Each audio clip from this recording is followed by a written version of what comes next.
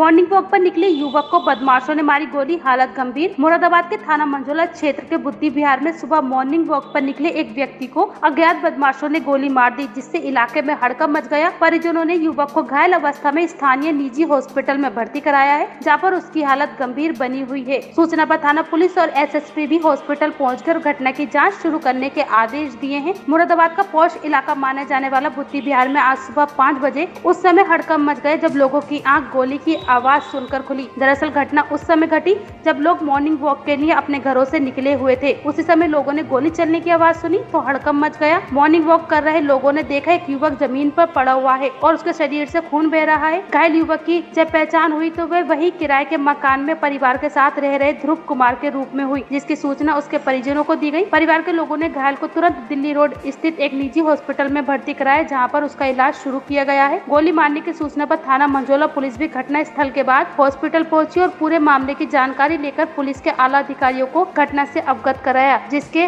कुछ देर बाद ही एसएसपी प्रभाकर चौधरी भी हॉस्पिटल पहुँचे और घायल ध्रुव से मामले की जानकारी लेने के बाद जल्दी घटना का खुलासा करने के निर्देश पुलिस को दिए हैं। इस मामले में परिजनों ने बताया कि कुछ लोगों से रंजिश चली आ रही है। हो सकता है उन्हीं ने हमला किया हो। इस गोलीकांड पर जानकारी देते हुए एसपी सिटी अमित कुमार आनंद ने बताया कि मॉर्निंग वॉक के समय गोली मारने की सूचना मिली थी। पुलिस मौके पर पहुँची और पूरे मामले की जाँच की जा रही है।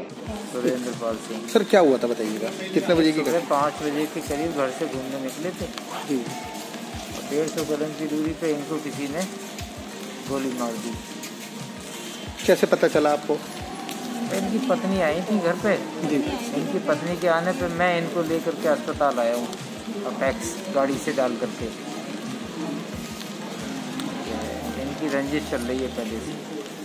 ठीक। ये थाना मजौला क्षेत्र अंतर्गत बुद्धि विहार में श्री अश्विनी कुमार को गोली लगने की सूचना सुबह पुलिस को प्राप्त हुई थी।